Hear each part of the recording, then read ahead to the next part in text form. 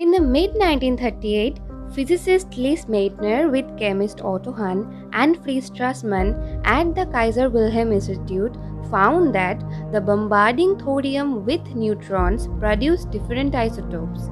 Hahn and Strassmann later in the year showed that isotopes of barium could be formed by bombardment of uranium. In late December, Meitner and Otto Robert Frisch work out the physics of such a splitting process.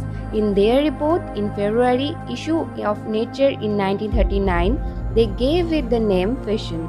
This principle led to the development of first atomic bomb during World War II and subsequently other nuclear weapons and nuclear reactors. For more video like this, please subscribe our channel